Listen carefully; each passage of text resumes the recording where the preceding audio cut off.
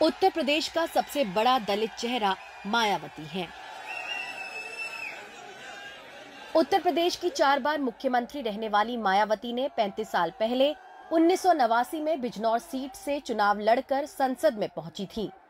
उसी सीट पर परिसीमन के बाद नगीना सीट बन गई है, जहाँ से अब की बार आज़ाद समाज पार्टी के नेता चंद्रशेखर आज़ाद के चुनाव लड़ने की बात है। समाजवादी पार्टी अपने कोटे से उनको टिकट देने वाली है। तो क्या उत्तर प्रदेश में दलितों का सबसे बड़ा चेहरा बनाने की चुनौती अब की बार फिर नगीना सीट पर होगी? नगीना सीट पर 16 लाख वोटर हैं, जिनमें 6 लाख मुस्लिम और 3 लाख दलित हैं। यानी इनका समर्थन जिस दल को मिल जाए उसकी जीत पक्की हो जाएगी। दरअसल चंद्रशेखर को अपने खेमे में लाकर इंडिया ब्लॉक ने दलित वोटों को साधने का भी प्रयास किया। चाहे अखिलेश यादव रहे हों या प्रियंका गांधी दोनों ही चंद्रशेखर से गाहे बगाहे मिलते रहे हैं। ऐसे में सवाल है कि क्या मायावती के नाम पर पड़ने वाले दलित वोटों को इंडिया ब्लॉक चंद्रशेखर आज़ाद के नाम पर अपने पक्ष में कर पाएगी?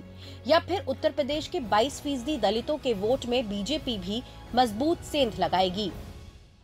योगी सरकार बनने के बाद जेल जाने वाले चंद्रशेखर आज़ाद इंडिया ब्लॉक की कितनी मदद कर पाएँगे? इससे पहले सवाल उनकी क्षमता पर है कि क्या वो दलितों के नए आइकन बनकर उभर पाए हैं? लखनऊ से रणवीर सिंह के साथ bureau report NDTV India. Samajwadi